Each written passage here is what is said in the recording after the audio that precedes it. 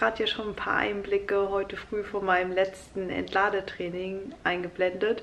Es war ganz klassisch ein Pull-Training, also ich habe einfach Rücken, hintere Schulter, Bizeps trainiert, am Ende dann nochmal ein bisschen Bauch gemacht und das dann auch schon, wie ich euch im letzten Video erklärt hatte, einfach ein bisschen weniger Gewicht genommen und mehr Wiederholungen gemacht. Also ich war so zwischen 12 und 20 Wiederholungen, so dass es noch minimal anstrengend ist, aber dass wir auf keinen Fall so einen krassen Reiz setzen, dass wir Muskelkater bekommen. Ja, also Form war heute früh auch wirklich schon echt mega gut.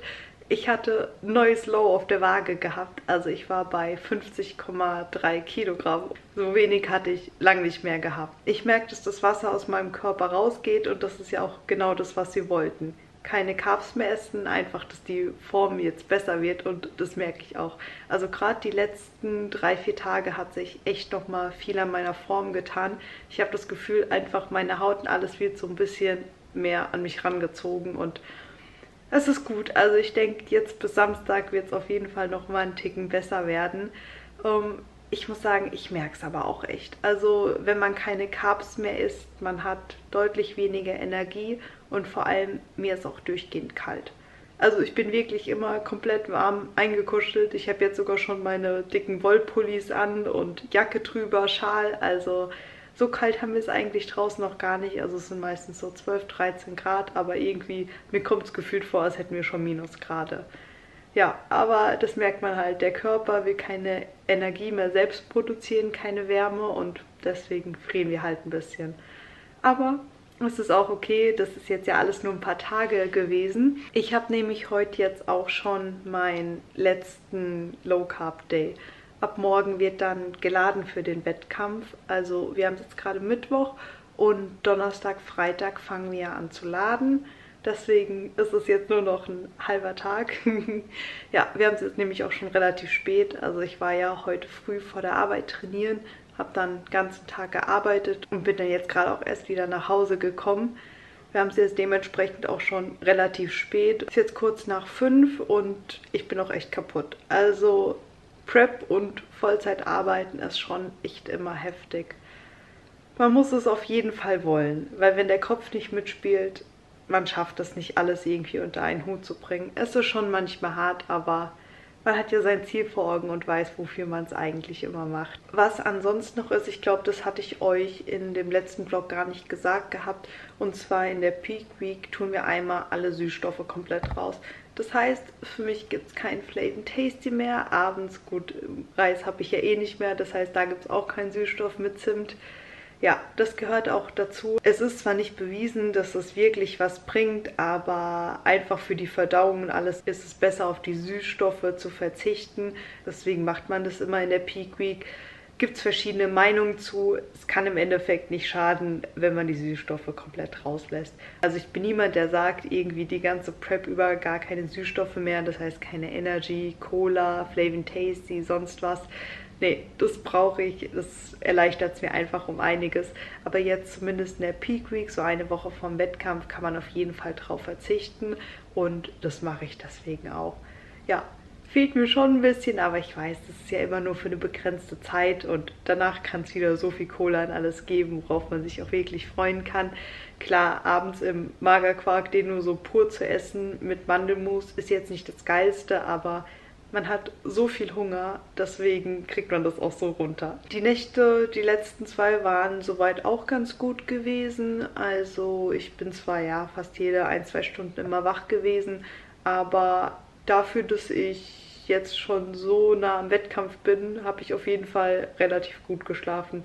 Also vom Einschlafen her ging es jetzt gerade auch echt gut. Da habe ich ja öfter mal Probleme mit. Aber dadurch, dass ich jetzt irgendwie so kaputt bin und mein Körper einfach nur noch Energie irgendwie rausholen will, schlafe ich momentan schon relativ schnell ein. Da bin ich auch ganz froh drum gewesen ja, natürlich unter der Woche, wenn man noch arbeiten geht und alles, bekommt man nicht so viel Schlaf. Also da habe ich momentan jetzt ja meistens so meine sechs Stunden. Ist okay, könnte besser sein, aber ist halt so. Ansonsten, ich muss sagen, ich freue mich einfach nur noch mega drauf. Es gibt nämlich auch eine kleine Neuigkeit und zwar, meinem Fuß geht endlich besser. Also gestern war der erste Tag, wo ich endlich mal wieder auf Zehenspitzen stehen konnte. Und das war schon sehr schönes Gefühl, wirklich. Ja, Posing-Schuhe habe ich zwar noch nicht geübt gehabt jetzt, aber zumindest so, ich konnte wieder relativ gut auf den Zähnen stehen und es tut auch überhaupt nicht mehr weh.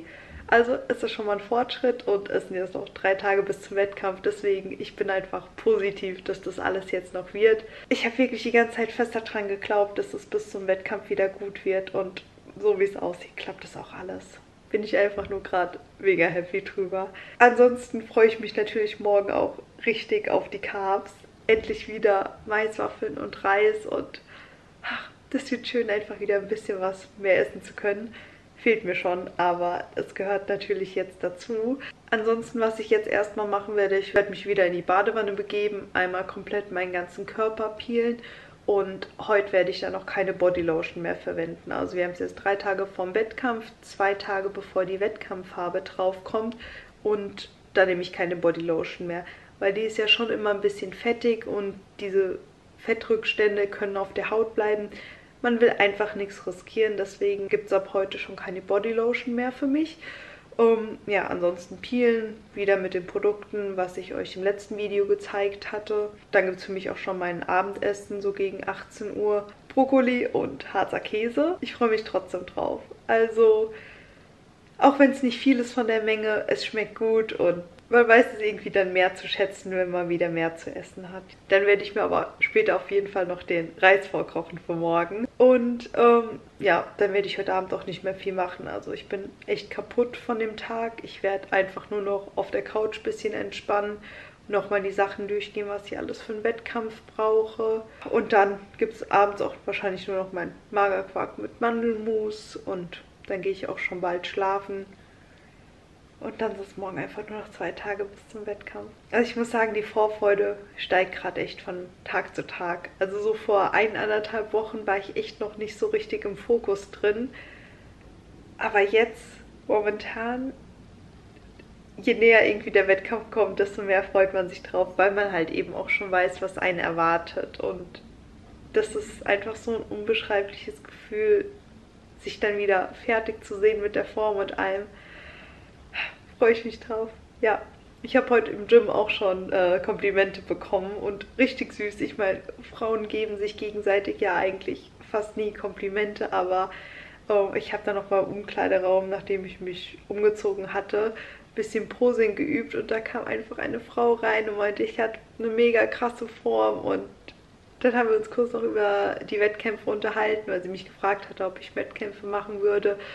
Und das war einfach irgendwie so schön zu hören, weil von Frauen bekommt man so selten Komplimente irgendwie. Und das dann in echt einfach so zu hören, das hat mich voll gefreut. Und auch egal wie kaputt ich vom Training war oder wenig Energie hatte, alleine so ein Kompliment zu hören, das hat mich voll glücklich gemacht.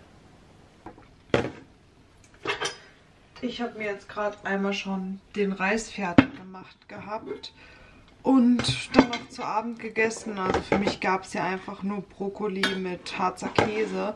Aber ich muss sagen, ich bin nicht wirklich gesättigt. Also ich könnte jetzt wirklich noch deutlich mehr essen.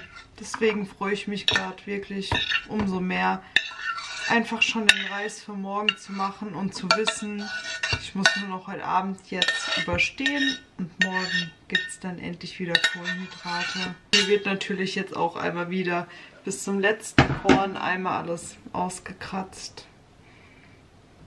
Das sind jetzt 100 Gramm ungekochter Reis, also schon wirklich eine ganz gute Menge.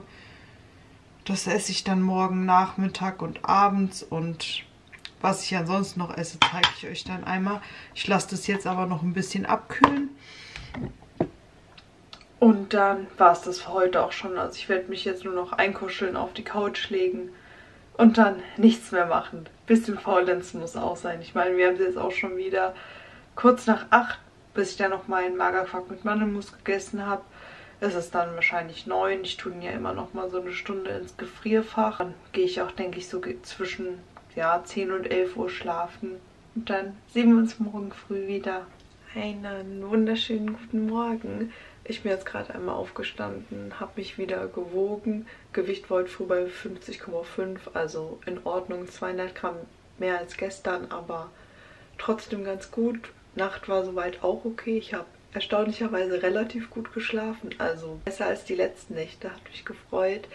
Ähm, ja, jetzt habe ich mich gerade einmal geschminkt und eine Sache, die sich ab heute ändern wird, es gibt jetzt für mich morgens immer Brennnesseltee.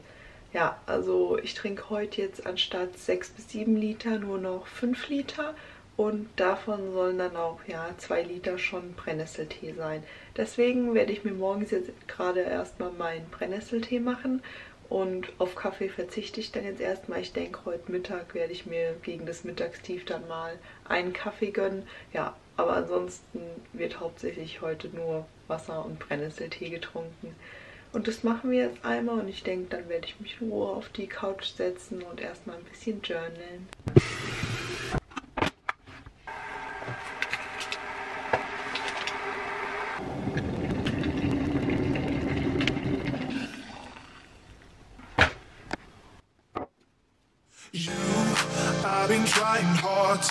To keep my cool. But when you're near, there's nothing that I can do. When you're walking in, I know it's true. Wie ihr gesehen habt, habe ich gerade ein bisschen gejournalt und ich sitze jetzt eigentlich nur noch hier auf der Couch und trinke erstmal ganz in Ruhe noch meinen Brennnesseltee. Der ist noch ein bisschen heiß, aber ich freue mich gerade echt drauf, morgens wieder was Warmes zu trinken. Also ich glaube, in Zukunft werde ich jetzt öfter mal wieder auf Tee umsteigen. Warum trinken wir eigentlich Brennnesseltee? Das dient eigentlich jetzt so kurz vorm Wettkampf nur dazu, nochmal ein bisschen Wasser aus dem Körper rauszukriegen. Also Brennnesseltee ist dafür bekannt zu entwässern, deswegen trinken wir jetzt ein bisschen davor. Klar, im Endeffekt, wenn die Form nicht gut ist, wenn noch zu viel Fett da ist, dann bringt auch Brennnesseltee nichts. Also wenn man jetzt nur so eine ganz normale Lifestyle-Diät macht und nicht mit dem Körperfettanteil so niedrig ist, wird Brennnesseltee auch nicht viel bringen. Also es ist wirklich eigentlich nur für Leute, die wirklich lean sind oder kurz vor einer Wettkampfdiät. Das macht man auch nicht lange. Also ich trinke jetzt, wie gesagt, nur heute und morgen ein bisschen Brennnesseltee und dann war es das auch. Danach höre ich auch wieder damit auf. Ansonsten habe ich euch ja schon gesagt gehabt, dass man jetzt zwei Tage vom Wettkampf kein Deo, kein Parfüm und nichts mehr benutzt. Das ist eigentlich nur dafür da, wir tragen ja morgen die Wettkampffarbe auf und es besteht einfach die Möglichkeit, wenn dann noch Rückstände auf der Haut sind, dass die Farbe dann dort fleckig wird, beziehungsweise man sieht es auch bei manchen Athleten, wenn die Farbe gerade so im Achselbereich so ein bisschen grünlich verfärbt ist, kann es eben davon kommen, dass man noch Deo benutzt hat. Und da die Wettkampffarbe, wie die aufgetragen wird, alles im Gesamtbild natürlich auch mit in die Punktevergabe dann eingeht, wollen wir natürlich eine möglichst gute Farbe. Und wenn man durch so Kleinigkeiten einfach verhindern kann, dass die Farbe sich verfärbt, macht man das natürlich. Deswegen gibt es jetzt für mich ab heute kein Deo, kein Parfüm mehr. Ist schon irgendwie ein komisches Gefühl. Man macht sich morgens fertig und es fühlt sich einfach so an, als würde irgendwas fehlen. Ja, deswegen trainieren wir auch nicht mehr und ich versuche mich generell jetzt auch die letzten zwei Tage vorm Wettkampf möglichst wenig nur noch zu bewegen Ich bin heute Nachmittag von der Arbeit aus noch mal ein bisschen unterwegs und ich werde mir auch meine Fingernägel machen lassen. Da nehme ich euch später aber auch noch mit. Ähm, da werde ich mich ein bisschen bewegen, aber ich versuche das natürlich möglichst gering zu halten. Also auf keinen Fall mehr auf die 10k Steps zu kommen. Mal schauen, wie viel Holz dann im Endeffekt wird. Wenn man arbeitet, kann man es halt eben nicht verhindern. Also da ist man immer ein bisschen am Laufen, das ist auch okay. Ansonsten werde ich mich dann auch gleich schon wieder an den Meal Prep teilweise für morgen begeben. Einfach, dass ich den Reis dann schon mal wieder vorkoche.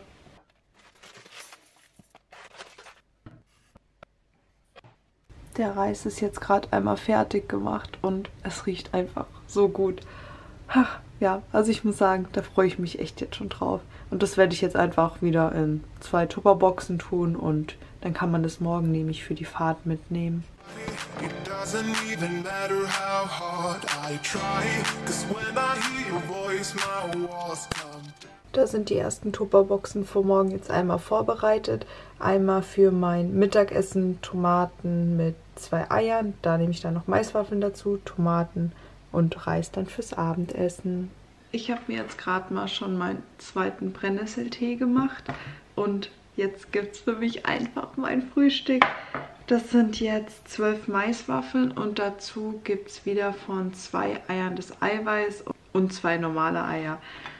Ja, ich muss sagen, ich freue mich jetzt einfach mega darauf, die Carbs zu essen. Da freue ich mich gerade jetzt echt drauf. Einfach den ersten Bissen Maiswaffeln.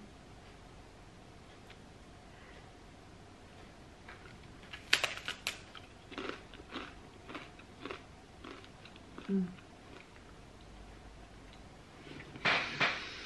Oh, es ist gut. ich habe es echt vermisst. Gerade voll das unbeschreibliche Gefühl irgendwie. Mega lecker.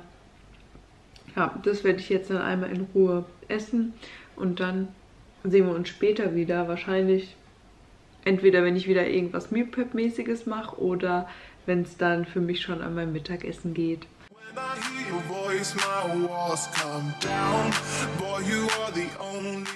Für mich gibt es jetzt einmal mein Mittagessen, einfach mit Tomaten und dem Eiweiß von den Eiern. Und dazu gibt es dann eine komplette Packung Maiswaffeln. Das sind jetzt hier welche ohne Salz. Ihr müsst da ein bisschen drauf achten, dass ihr gerade jetzt kurz vorm Wettkampf nicht zu viel Salz zu euch nehmt. Ich zeige es euch mal. Die haben jetzt echt wirklich super wenig Salz auf 100 Gramm. Und das lasse ich mir jetzt einmal schmecken. Wir haben es jetzt schon ein paar Stündchen später. Ich bin fertig geworden mit Arbeiten und mache mich jetzt dann auch schon direkt auf den Weg, meine Nägel zu machen. Denn das muss natürlich auch schon für den Wettkampf immer gemacht sein. Ist jetzt eh schon ein bisschen knapp, zwei Tage vorher. Aber da ich ja noch die ganzen nächsten Wettkämpfe habe, muss ich mal schauen, ob ich es überhaupt zeitlich dann noch schaffe, die wieder neu zu machen. Deswegen habe ich das jetzt relativ kurz vor dem Wettkampf gelegt gehabt, damit ich die vielleicht auch einfach für die ganzen Wettkämpfe so lassen kann kann, wenn die noch nicht so arg dann rausgewachsen sind. Muss ich aber nochmal schauen. Jetzt geht es erstmal für mich die Nägel machen. Ich habe auch einmal ablackiert. Ich mag es gar nicht, ohne irgendwie rot lackierte Fingernägel rumzulaufen, aber gut, muss jetzt gemacht werden. Werden ja gleich jetzt schön gemacht. Ich bin echt mal gespannt, wie dann das fertige Ergebnis wird und das seht ihr dann einmal jetzt gleich.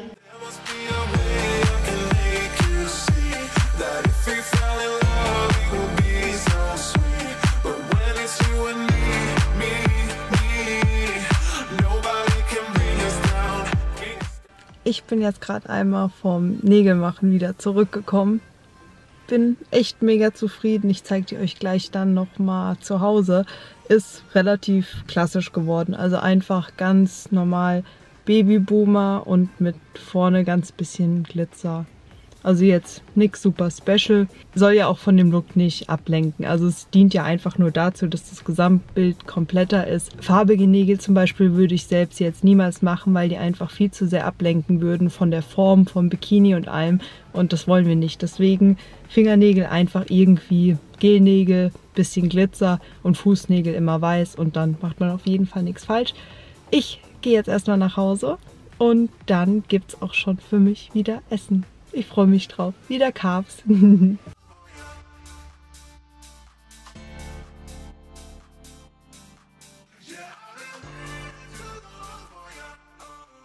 Ich bin jetzt gerade einmal zu Hause wieder angekommen. Ich habe euch ja meine Nägel schon gezeigt gehabt. Ich bin echt zufrieden. Also ich habe mir die gerade nochmal vom Namen angeguckt. Sehen wirklich gut aus. Ja, ich bin jetzt doch ein bisschen mehr gelaufen, als eigentlich geplant war. Durch die Arbeiten alles jetzt noch. Also ich bin jetzt bei knapp 8000 Schritten. Sollte ich eigentlich nicht heute, eher so 5.000, 6.000, aber gut. Konnte ich jetzt nichts machen, ist ein bisschen mehr geworden, ist aber auch noch okay. Ist jetzt nicht zu viel, das sind keine 10k. Ich mache jetzt heute ja auch ansonsten nichts mehr, deswegen geht es noch. Ja, ich habe auch schon drei Liter jetzt knapp getrunken, deswegen müssen nur noch zwei Liter getrunken werden. Ist noch vollkommen okay von der Uhrzeit. Ich hebe mir meistens immer ein bisschen was noch für abends auf, weil ich gerade am Abend eigentlich immer relativ viel Durst habe. Deswegen passt das auch noch alles. Ähm, ja, wie ich eben schon gesagt habe, werde ich mir jetzt erst nochmal Reis machen. Den werde ich wahrscheinlich einfach so pur kalt essen. Da habe ich gerade richtig Lust drauf. Und ähm, heute Abend gibt es dann nochmal richtig eine Portion Reis mit Gemüse und dem Harzer Käse dann wieder, wie die letzten Tage auch schon. Nur halt noch zusätzlich mit Reis. Ja, da freue ich mich aber jetzt echt drauf, einfach 100 Gramm ungekochten Reis essen zu können. Also ich habe den natürlich gestern gekocht, aber von der Menge her ist schon echt ganz gut. Was ansonsten jetzt noch passiert, ist eigentlich mit das Wichtigste. Und zwar, ich werde meinen Körper jetzt komplett einmal peelen. Also jetzt gerade auch hinten, Rücken, alles wird einmal gemacht und komplett rasiert. Wir haben es jetzt zwei Tage vorm Wettkampf, einen Tag bevor die Farbe aufgetragen wird. Und deswegen muss der komplette Körper einmal rasiert werden.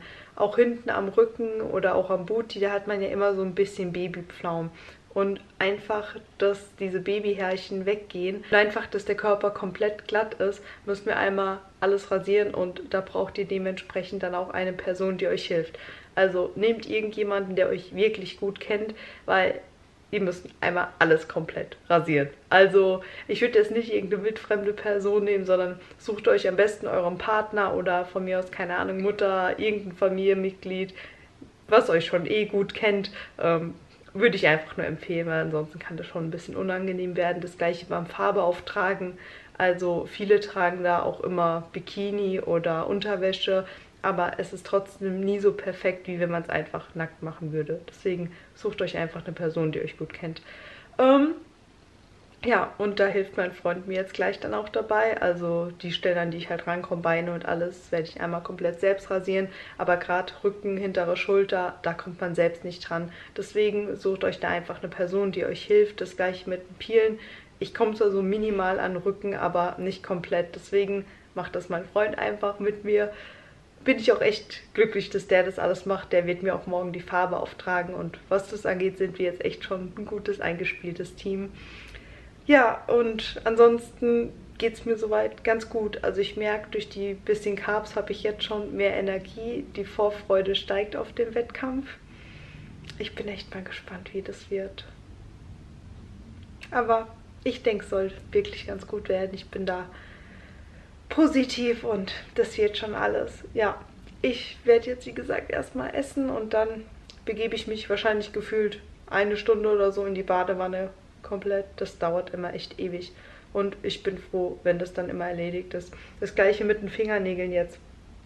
Ich verstehe, also, sorry, aber nichts gegen die Frauen, die sich immer die Fingernägel machen lassen. Aber wie viel Zeit es braucht, allein hinfahren, dann dort erstmal kurz warten, bis die Fingernägel gemacht sind, dann wieder zurück nach Hause fahren. Also da gehen noch locker immer zwei bis drei, ja eher drei Stunden drauf. Plus noch, das hat jetzt 40 Euro gekostet und das müsste man alle drei Wochen machen. Also ich weiß nicht, mir ist da irgendwie meine Zeit zu schade. Dann lackiere ich mir die irgendwie lieber schnell hier zu Hause selbst und ähm, kaufe da einmal so einen Essie-Nagellack für, keine Ahnung, 10, 12 Euro und der hält dann drei Monate. Und ich kann nebenbei noch YouTube-Videos schauen oder irgendwas anderes machen. Also ich weiß nicht irgendwie, ich mag das gar nicht nur so darum zu sitzen, aber das muss ja auch jeder selbst entscheiden, ob man das mag oder nicht. Für mich persönlich ist es jetzt immer nur was für die Wettkämpfe, weil auch auf der Arbeit ist es einfach ein bisschen nervig, wenn die zu lang sind. Ich meine, von der Länge, man sieht es jetzt, die sind noch okay. Also ich mache die nie zu lang, weil ich meine, ist schön, wenn man für einen Wettkampf noch längere Nägel hat, aber man muss die ja auch irgendwie noch auf der Arbeit und im Training noch benutzen können. Und wenn die so lang sind, ich weiß nicht, auch die Hanteln anzufassen und alles, funktioniert für mich nicht richtig. Deswegen habe ich die auch nicht zu lang gemacht, aber so, dass man trotzdem noch sieht, dass es halt künstliche Nägel sind und dass es gut auf der Bühne aussieht. Das habe ich die letzten Wettkämpfe auch schon so gemacht gehabt und das hat immer ganz gut funktioniert. Ja, und jetzt habe ich euch auch schon wieder ein Weichen voll gelabert. Ich werde mir jetzt erstmal meinen Reis machen. Wir haben es jetzt schon ein paar Stündchen später. Ich habe mich, wie gesagt, einmal komplett gepielt, rasiert und dann gab es für mich auch schon mein Abendessen einfach wie die letzten Tage. Dann habe ich einfach nur noch ein bisschen entspannt. Tag war schon echt anstrengend, aber ich freue mich einfach. Also die Vorfreude steigt gerade einfach nur wirklich. Für mich gibt es jetzt noch meine letzte Mahlzeit. Ich mache mir jetzt noch meinen Magerquark mit Mandelmus. Und ähm, dann werde ich heute Abend nur noch einen Brennnesseltee trinken, ein bisschen Wasser und dann war es das auch für heute. Ich muss mich jetzt schon echt wieder dran gewöhnen, das alles mit längeren Fingernägeln zu machen. Also das ist echt immer eine Umgewöhnung. Am Anfang, wenn man die dann so ein, zwei Tage hat, ist es wirklich in Ordnung. Aber ich weiß auch morgen früh beim Schminken, es wird wieder richtig komisch sein, einfach mit längeren Nägeln das zu machen. Und hat jemand von euch auch diesen Tick, dass man, wenn man Magerquark in eine Schüssel tut, das immer so glatt streichen muss? Also ich weiß nicht, ich könnte ihn jetzt niemals so in der Mitte irgendwie mehr und dann außen weniger lassen. Das geht nicht. Das muss wirklich immer komplett verteilt sein. Beziehungsweise in der Mitte mache ich dann sogar eine leichte Kuhle, weil da dann gleich das Mandelmus reinkommt. Hoffen wir, dass die Packung noch reicht. Aber für 30 Gramm, ja, sollte das auf jeden Fall noch lang. Und das Geilste ist doch wirklich immer jetzt, den Löffel einmal einfach ablecken zu können. Hm.